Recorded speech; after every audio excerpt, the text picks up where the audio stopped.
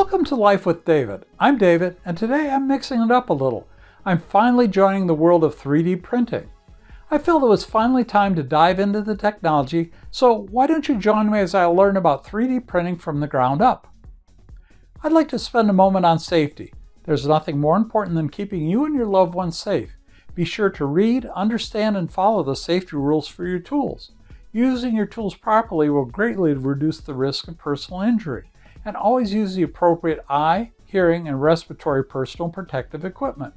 3D printing isn't very dangerous, but you can burn yourself if you're not careful. Follow the manufacturer's instructions, or in lieu of those, use common sense.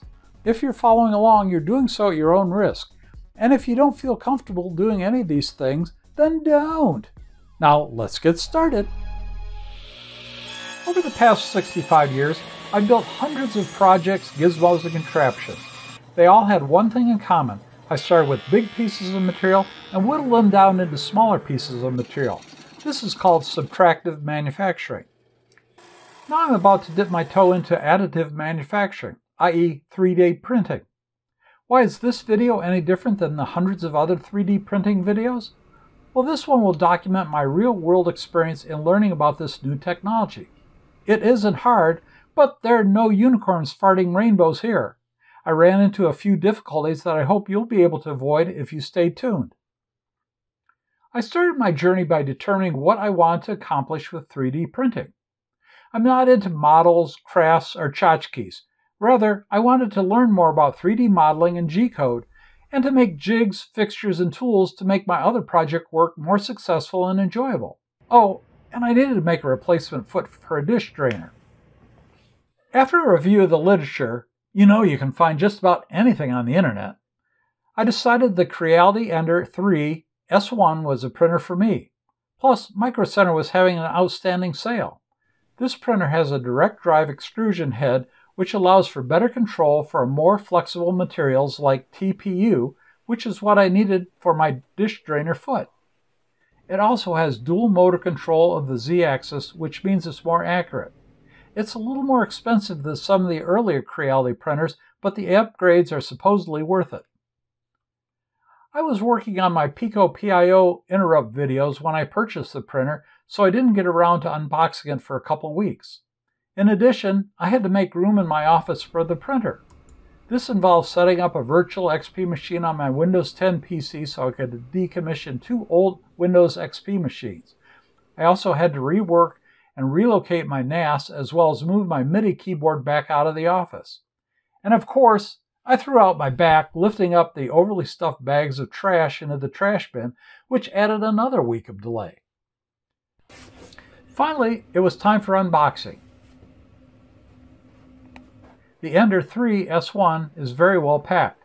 As you can see, the X and Z gantry is completely assembled and there are only a few other components to install. I started with the Y-axis on the base plate that also contains the power supply and main board. I thought it was nice that the Y-axis had a detent at the home position. Wait, what? No, it's supposed to move freely without any flat spots. Problem number one. From my previous work in the machine tool industry and also guidance from the internet, I know that the V wheels, like those used in these mid-market printers, must be adjusted very precisely to avoid wear, flat spots, and slop. Luckily, Creality provides all the tools needed to do the work, just no guidance.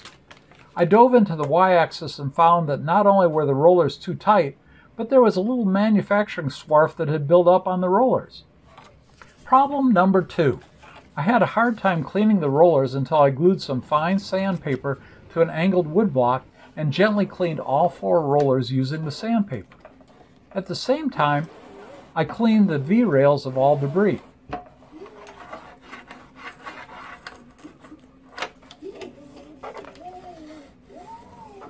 Finally, when everything was clean, I readjusted the two tensioning rollers using the eccentric nuts with the provided wrench. Take your time here. The rolls have to be just tight enough to allow them to slip just a little against the V-rail, but not so loose that there's slop in the table movement. If they're too tight, the table will have flat spots and the rollers will wear out prematurely. Next, it was time to attach the XZ gantry to the base plate. The fit looked pretty good, but I wasn't going to take any chances. I grabbed some sandpaper and did a quick deburr of the holes in the gantry.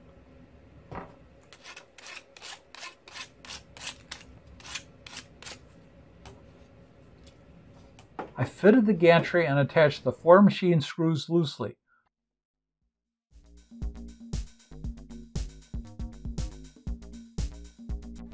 Then I moved the z-axis down near the bottom of the gantry and tightened the screws. By moving the z-axis down, I was striving to keep the distance between the top and the bottom of the gantry legs the same, which would minimize binding in the future. As part of my alignment process, I placed a couple identical length blocks under both ends of the x-axis rail to make sure the z-axis motors were properly timed.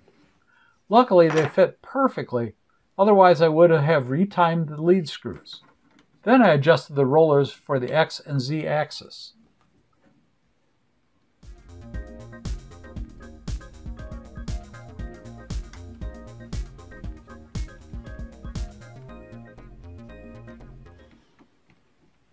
Installing the new direct drive extruder head was about as simple as it could be. It hangs from a bracket on the X-axis carriage and is fastened in place with four small M3 machine screws.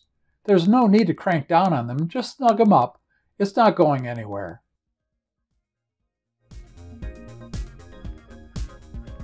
Then I installed the main wiring harness into a clip that hangs off of one of the Z-axis roller assemblies. Make sure the sticker is placed right in the middle of the clip to provide the required cable slack. Then I wired and installed the control panel. It snaps into a plastic bracket that I attached to the base using three M4 machine screws.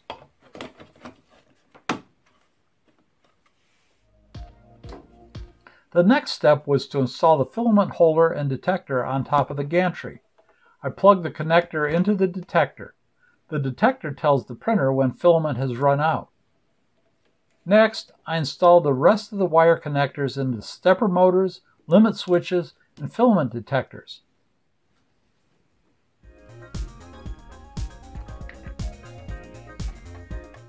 Problem number three. I had moved the z-axis down before I had removed the bottom half of the filament detector wire from its shipping position. The rollers had jammed the connector into the rail. No damage, but it took a long time to free the connector from its prison. Finally, I installed the main cable into the extruder head. Make sure the cable sits in the clip to provide strain relief as the extruder head moves. Before you apply power to the printer, it's extremely important to set the mains voltage. I'm in the US, so I remove the sticker and set the switch to 115 volts. Now it was time to do a manual bed alignment. I used a piece of paper and moved the z-axis down to just above the bed.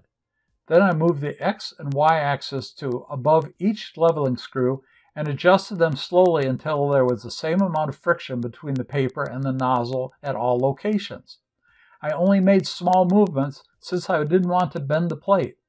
Finally, when I was happy, I powered up the printer and performed auto leveling. Pretty impressive.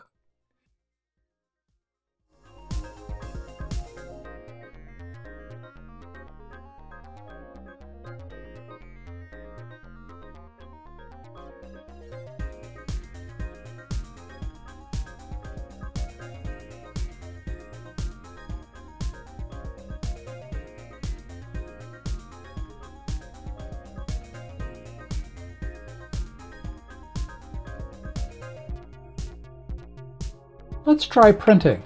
First, I'll preheat the machine so I can load the filament. I cut it at an angle, hold down the release, and push it into the extruder head until some filament comes out of the nozzle. Problem number four. I didn't know which way the SD card was supposed to fit into the machine. It seemed to click nicely into place with the contacts facing down, however, no files showed up on the screen. When I put the card in the other way, it felt very loose, and again, no files showed up. Finally, after flipping the card over several times, files eventually showed up with the contacts in the up position. Now it was time to set up the printer job. Unfortunately, I got a little confused between retraction, z-axis offset, and the home position. Problem number 5. I set the z-axis offset to the retraction distance of 0.8 millimeters.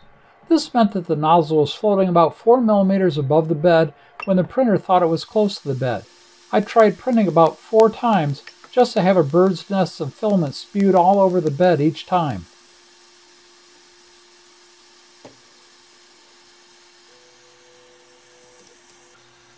I took a little time out to do some more research.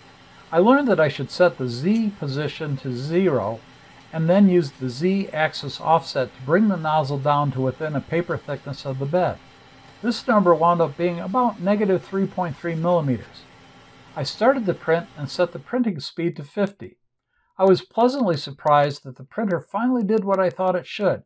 In just a few hours, I had a happy cat.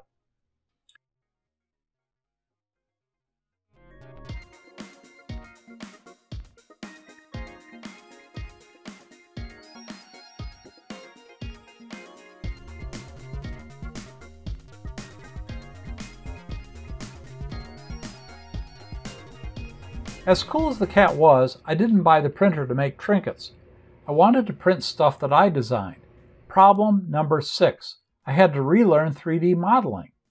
20 years ago, I dabbled with 3D modeling using TurboCAD, which is a 2D CAD program. It was pretty clunky, and conventional wisdom was to forget everything I knew about 2D CAD. So I decided to transition to FreeCAD. As I mentioned earlier, I had a goal of making a new foot for our sink drainer. It originally had four feet, but one fell off. I eventually will make it using TPU filament, which is more flexible, but I decided to make a proof of concept using PLA. I measured the foot and created a sketch in FreeCAD.